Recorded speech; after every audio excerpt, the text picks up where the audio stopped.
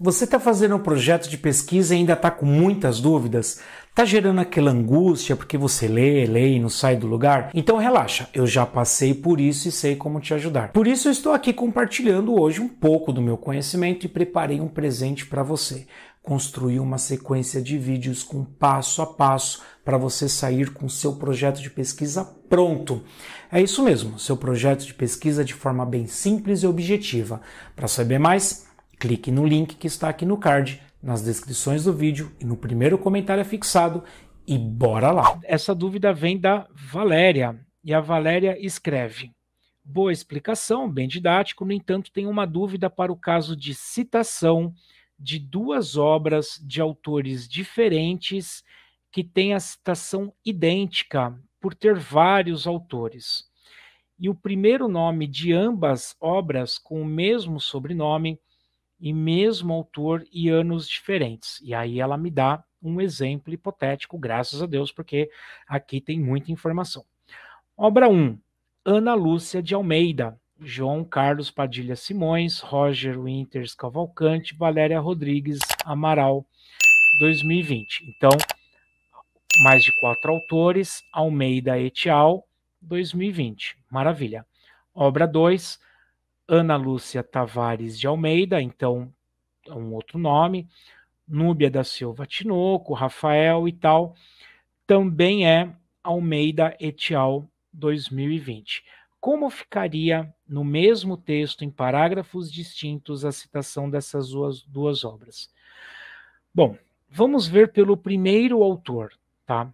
Então, primeiro autor, eu tenho Ana Lúcia de Almeida, e aqui eu tenho Ana Lúcia Tavares de Almeida. Eu posso diferenciar assim. Almeida A L A L ponto e vírgula 2000 etial, né? Eita, esqueci aqui dos outros.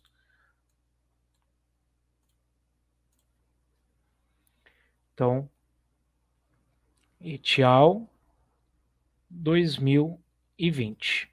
E aqui eu tenho a obra 2, Almeida, desculpa pela minha letra, tá, gente? A ponto L ponto T ponto vírgula etial ponto e vírgula 2020.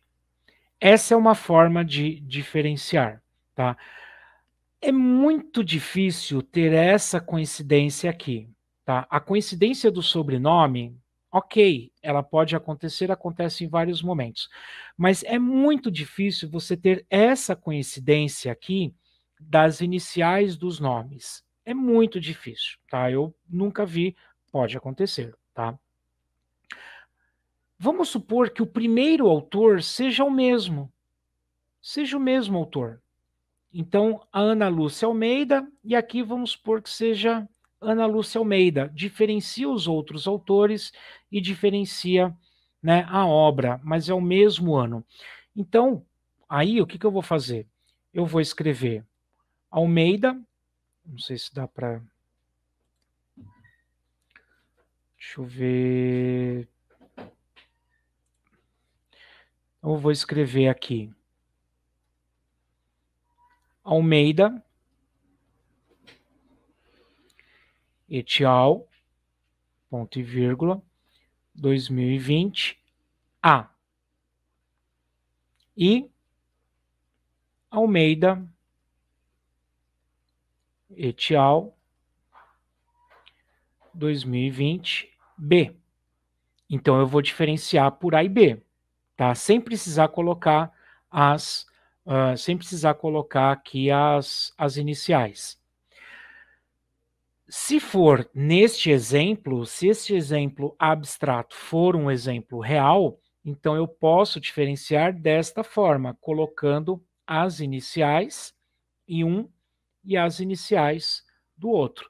E aí eu coloco 2020, 2020, tá? Uh, se for o mesmo autor, diferencia os outros autores, diferencia a obra, então eu coloco e outros, né, et al.